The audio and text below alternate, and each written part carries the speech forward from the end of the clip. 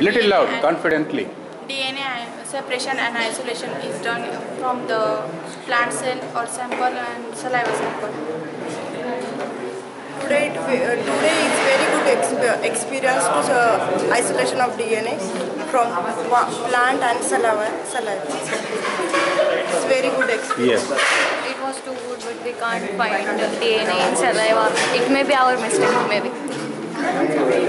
Your feedback. Today's program is very uh, interesting and very useful for us, uh, for our better future. Boys, Thank you so much. little. Now. Who will, who will tell? Who will tell?